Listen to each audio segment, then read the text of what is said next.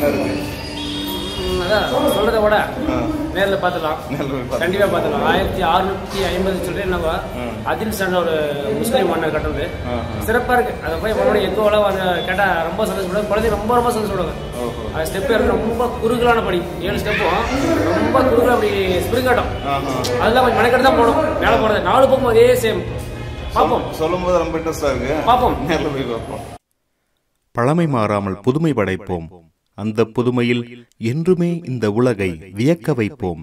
இன்று நாம் காணவிருக்கும் காணொளி கோல் கும்பாஸ் கோல் கம்பாஸ் இன்னும் கோட்டைக்குள்ளார போகல இன்னொரு கொஞ்ச நேரத்துக்கு உள்ளே போயிட்டு நாங்கள் வந்து எல்லாத்தையும் ஷூட் பண்ண போகிறோம் ஆ கோட்டை எப்படி இருக்கு? இங்கே பார்க்கறதுக்கு? சூப்பரா இருக்கு. சூப்பராக வரலாற்று சிறப்புமிக்க மிகப்பெரிய ஒரு கோட்டையா இருக்கு. முகலாய காலத்து ஆட்சி மன்னருடைய மிகப்பெரிய ஒரு ஆதிக்கமா இருந்திருக்கு இந்த கோட்டை. பார்க்கக்குள்ள இந்த ஊர் முழுக்க பார்த்தீங்கன்னா பிஜேபின்ற ஊர்ல ஊர் முழுக்க அந்த முகலாய மன்னருடைய அந்த வடிவமைப்பில் கொண்ட கோட்டைகள் தான் எல்லாமே இருக்கு ஊர் புறமே ஆஹா பார்க்கறதுக்கு ரொம்ப பெருமைப்பா இருக்கு.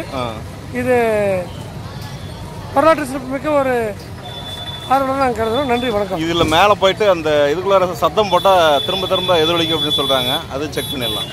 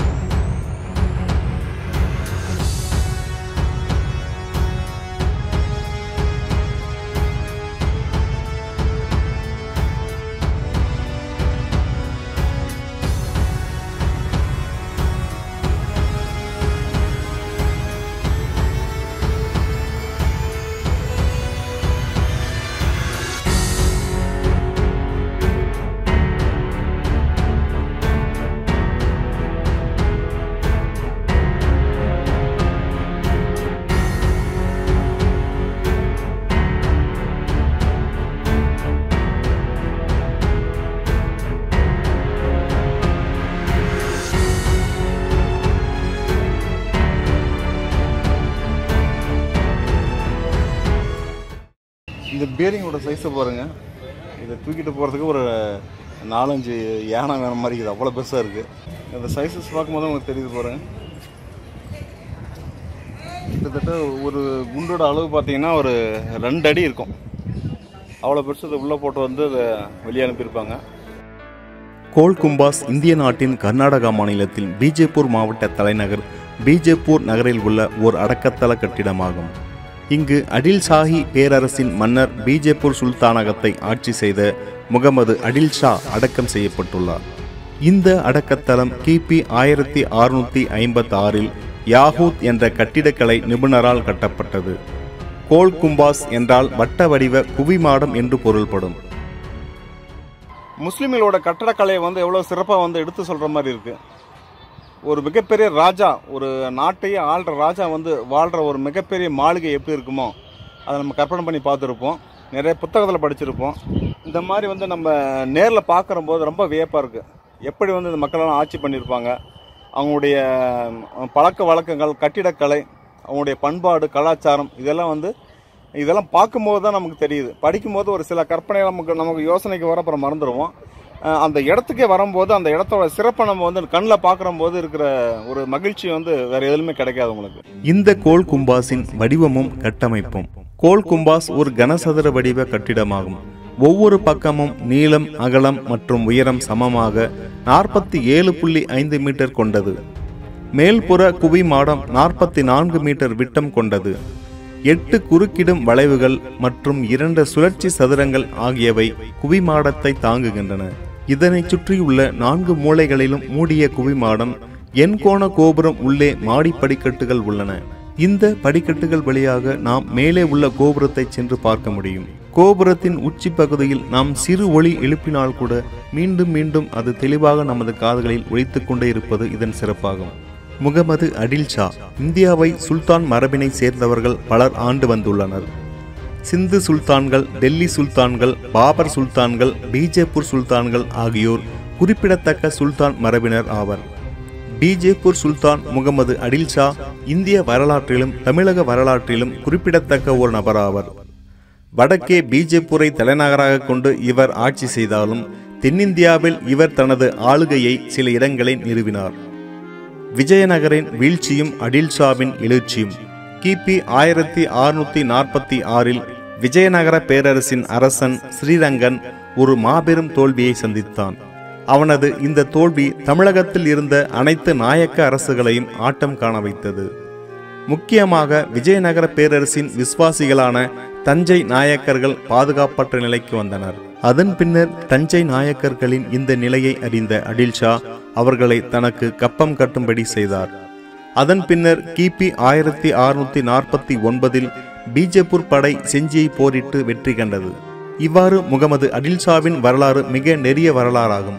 இந்த காணொளியை இடையில் துண்டிக்காமல் என்னோடு பயணம் செய்து முழுமையாக காணுங்கள். இந்த இடத்துல நிற்கிறதுக்கு ஒரு மிகப்பெரிய ஒரு பிரம்மாண்டமான ஒரு இடத்துல நிற்கிற மாதிரி இருக்கு. இந்த கோட்டையோட ஒரு கனவு இல்லைன்னு மாதிரி இருக்குது கோட்டைன்னு சொல்ல முடியாது. மிகப்பெரிய ஒரு கனவு இல்லை மாதிரி இந்த இடம் இருக்குது.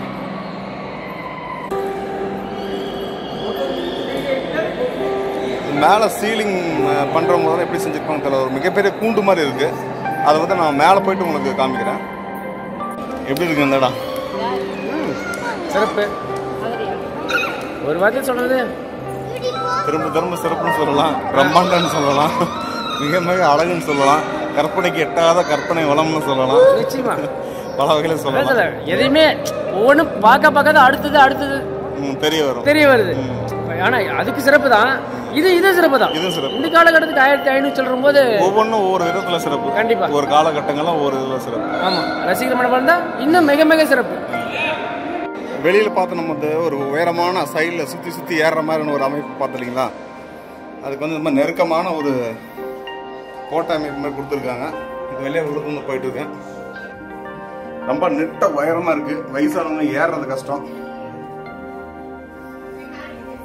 கொஞ்சம் வளர்க்குனீங்க அப்படின்னா மறுபடியும் கீழே போயிடுங்க ஏறி போகிறதுனா ஒவ்வொருத்தர் தான் போக முடியும். ஏற ஏற லெஃப்ட் சைடில் தான் வந்து அந்த ஹோல் கொடுத்துருக்காங்க. நான் மூணாவது ஸ்டேஜில் இருக்கேன்.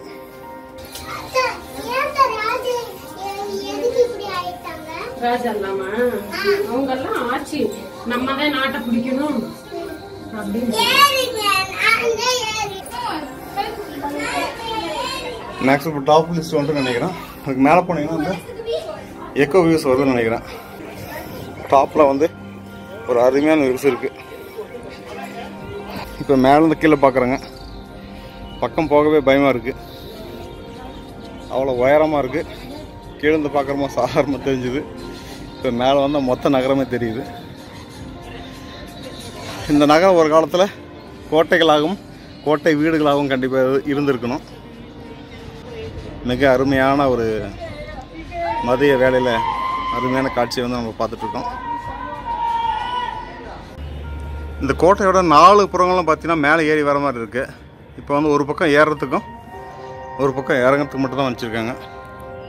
மற்ற இடங்கள் எல்லாமே இந்த மாதிரி என்ன பண்ணிருக்காங்க? எல்லாத்தையும் பிளாக் பண்ணி வச்சுருக்காங்க. அடுத்து பார்த்தீங்கன்னா உள்ள நுழையிற இடம் பார்த்தீங்கன்னா ரொம்ப சின்னதாக இருக்குது இங்கே ஒரு பூ மாதிரி டிசைன் இருக்கு இல்லைங்களா? அந்த டிசைனில் ஒரு சந்துக்குள்ளே நம்மளால் போக முடியும். இப்போ நீங்கள் பார்த்துட்டுருக்கிறது இதன் வழியாக மட்டுமே போக முடியும். ஆனால் ரொம்ப சின்னதாக இருக்குது பாருங்கள் கரெக்டாக ஒரு ரெண்டரை அடி மட்டுமே இருக்குது அதுக்கு மேலே அது உள்ள போகிறது கஷ்டமாக இருக்குது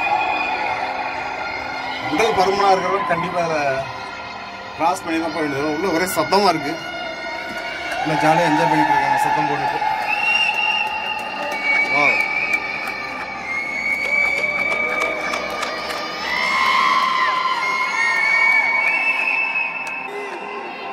ரொம்ப இருக்குது பக்கம் வந்து அடிவேர்லாம் கலக்கிற மாதிரி இருக்குது ரொம்ப ரொம்ப ரொம்ப ரொம்ப ரொம்ப உயரமாக இருக்கு.